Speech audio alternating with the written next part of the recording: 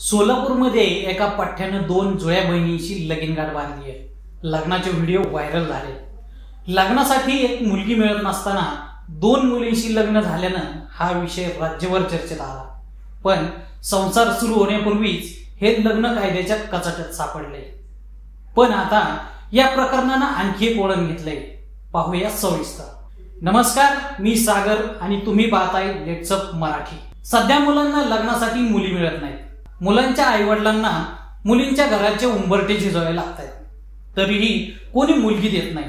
पण माळशिरसमधील एका हॉटेलमध्ये चार दिवसापूर्वीच एका तरुणानं चक्क दोन जुळ्या बहिणींशी लग्न केले या लग्नाचे फोटो व्हिडिओ सोशल मीडियावर व्हायरल झाले.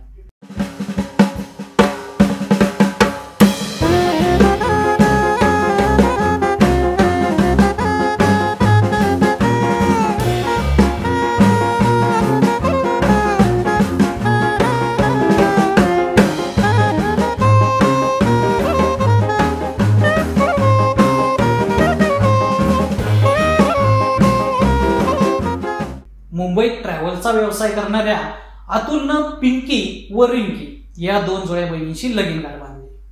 तशी तिघं एकत्र येण्याची एक वेगळीच कहाणी आहे. या जोड्या बहिणी त्यांची आई या तिघीच राहतात. एक दिवस एक बहीण आणि आई आजारी पडली. त्यावेळी अतुल त्यांच्या मदतीला आला. त्यातील एकीशी अतुलचं प्रेम जुळलं. पण रिंकी आणि पिंकी दोघीही एकमेकींशिवाय राहू शकत नसल्यानं दोघींनी अतुलशी लग्न करण्याचा निर्णय घेतला. धूमधडाक्यात लग्न देखील झालं. या लग्नाची चर्चा सुरू झाली. पण हे लग्न आता कायद्याच्या कचाट्यात सापडले. पिंकी आणि रिंकीच्या लग्नानंतर पोलीस ठाण्यात राहुल फुले या तरुणानं तक्रार केली. गुन्हाही दाखल झाला. त्यातच भर पडली ती महिला आयोगाची. राज्य महिला आयोगानं या जुळ्या वहिनींच्या लग्नाची चौकशी करून अहवाल सादर करण्याचे आदेश सोलापूर पोलिसांना दिले.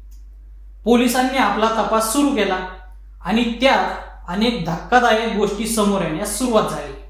अतुल अवताडेचं पिंकी आणि रिंकी बरोबर लग्न करण्यापूर्वी एक लग्न झाल्याचं समोर आलंय. अतुलच्या पहिल्या पत्नीनं थेट महिला आयोगाकडे तक्रार केली आहे. त्यामुळं आता या लग्नाच्या गोष्टीत एक ट्विस्ट आला असून अनोख्या लग्नाचा नवा अध्याय सुरू झालाय. आता नवरदेव अतुल चांगलाच कायद्याच्या कचाट्यात सापडलाय. अतुल सोबत त्या जुळ्या बहिणींवर देखील गुन्हा दाखल झाल्याची माहिती मिळते पोलिसांकडून अतुलची कसून चौकशी सुरू आहे. आता पिंकी आणि रिंकीच्या या लग्नाच्या गोष्टीत पुढं काय होणार याकडे सर्वांचं लक्ष राहील.